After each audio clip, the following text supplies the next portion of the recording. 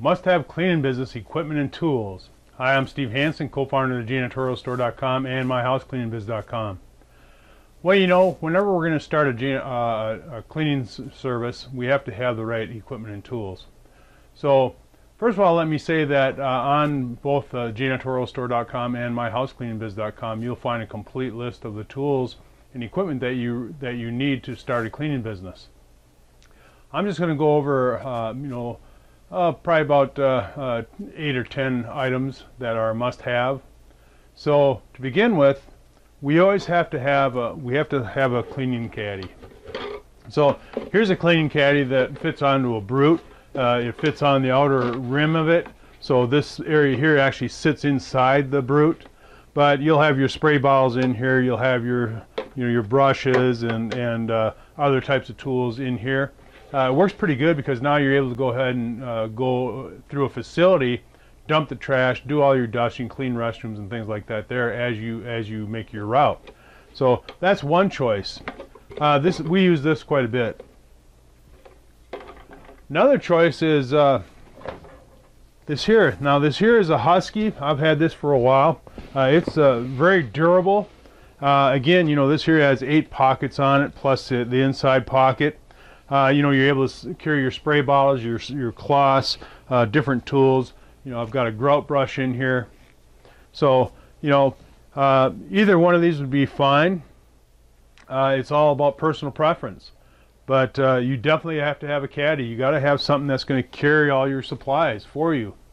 So, those are a couple of choices that uh, must-haves. Something else that you should have is that you should have a tote. Uh, you know, I like using these plastic totes because I'm able to put uh, a number of uh, microfiber cloths, uh, chemicals, uh, extra spray bottles, and scrub pads, different things like that there in the in the tote.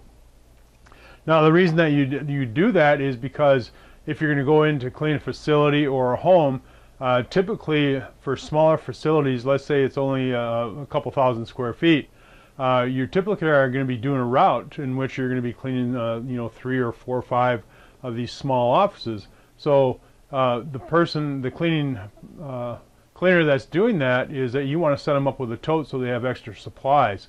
You don't want them running out of supplies midway through the mid through way through their route. And the same thing is true for residential. So you know when you're in there cleaning a, a residential home, you may use the the Husky tote there, but uh, you know, then you'll also have your cleaning apron on.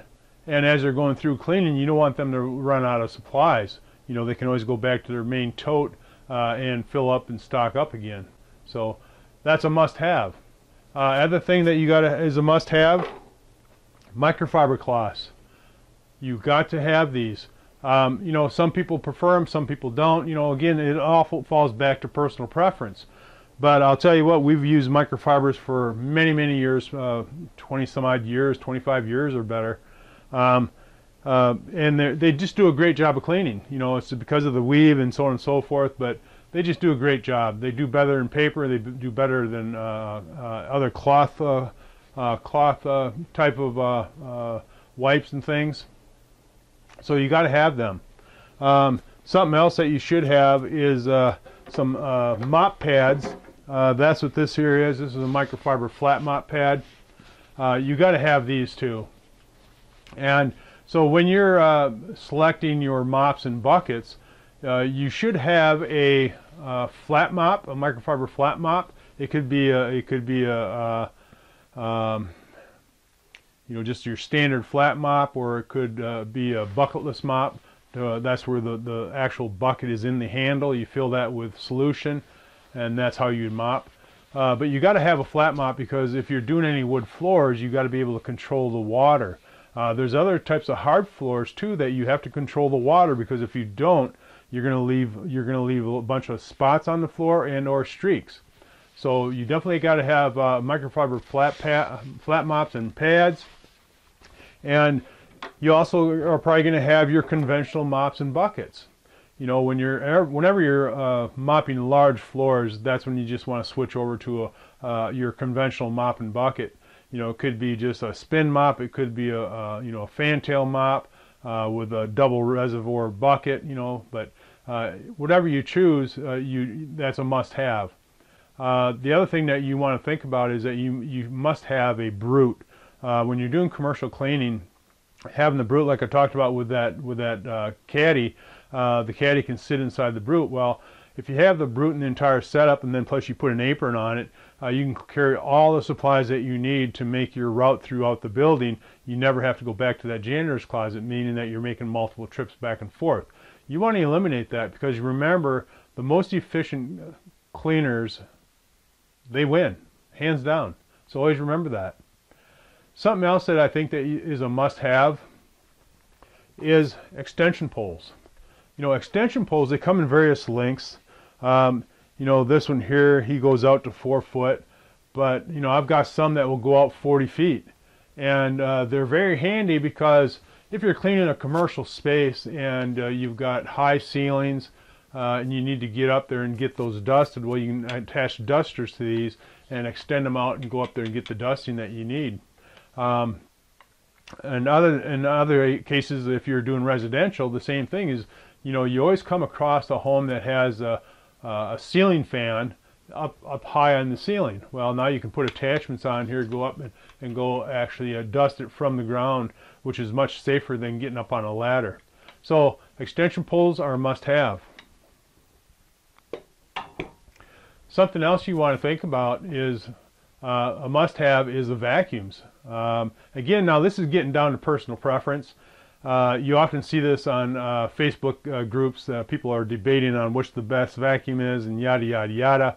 Well, that, that debate's going to go down in history uh, because it all ends up being personal preference.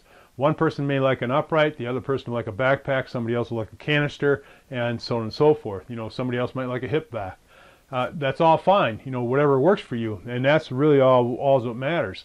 But it's a must-have. You have to have a vacuum of some sort. So something else you have, you must have is dusters. You got to have dusters. Um, here I got a, a little handheld duster you know, for cleaning small areas. You may also have other microfiber dusters that are long, skinny tubes to where you can do big flat areas. Uh, so, but they're a must-have. You you got to have them, and you may even have a uh, uh, a static duster to where you can use those for for doing your uh, your your blinds and things like that. So, but it's a must-have. Something else that you that I mentioned earlier is a must-have is a cleaning apron. If you're cleaning homes and commercial, uh, it's a good idea to have a cleaning apron. Uh, the cleaning apron will have multiple pockets. The ones that we have, I think they have seven pockets on them, uh, so you can carry your carry your supplies. You can carry your spray bottles and everything. Uh, you know, we made them ourselves. We didn't buy them, uh, so they're customized for for for our use. But uh, they're just fantastic. again, you know, it makes you much more efficient when you're cleaning a, cleaning a home or cleaning a, an office space or a facility, uh, rather than you going back and forth to, to your to your brute or and uh, the janitor's closet, you got all your tools with you. So it just makes you a much more efficient cleaner. So cleaning aprons are a must-have. Another must-have is uh, scrapers. Uh, scrapers come in; they're so handy. Now there's going to be times when you should use a plastic scraper and you should use a razor, a razor scraper. So you should have both. Um, you know, uh, there's some surfaces that you probably want to go after with a plastic scraper rather than using a razor and vice versa. So, and it's a matter of making that selection. Uh, in most cases, you may find out that a scraper is always best used with a wet surface. So you might just spray some glass cleaner on a surface and, and then use your scraper.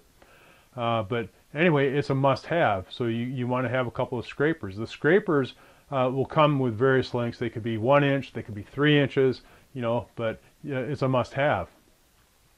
Now another must-have that, that we, we need is PPE, uh, personal protective equipment.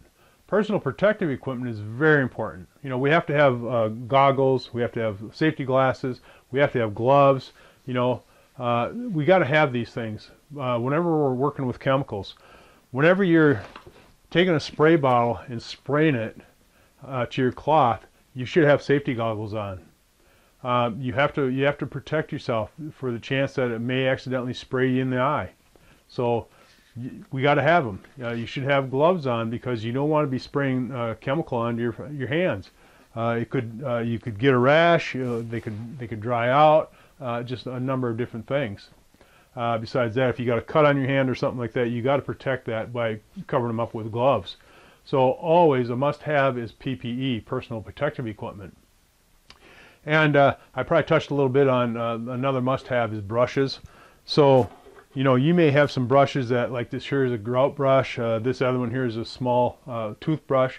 Now you can use these all for, for detail work for around, um, around faucets, uh, tight areas, mounting hinges, different things. But they, they work fantastic for that. Um, so this here is a must-have, you know, so you may have a, a, grout brush, a toothbrush, and then you may have a, a deck brush. Uh, if you're cleaning residential, you may find out that they may have ceramic tile in some areas of the home. Well, typically it's just small areas, you know, maybe in some restrooms or some areas, but they're typically small areas. So you could actually just use a deck brush to go ahead and clean that area, you know, the, when you're doing a deep clean. But that I, I uh, that is a it's a must-have. So there you have it. Uh, that's the list that I have. And like I say, uh, if you go to the janitorialstore.com or my house cleaning biz, you will find a complete list of the tools, uh, tools and equipment that you must have to start a cleaning company. So hopefully you found this helpful. If you did, go ahead and click on the like and share button. And as usual, uh, if you have not subscribed to our YouTube channel, uh, go ahead and click on the subscribe button. Uh, you'll find hundreds of uh, videos on how to build a successful cleaning business. So until next time, we'll see you.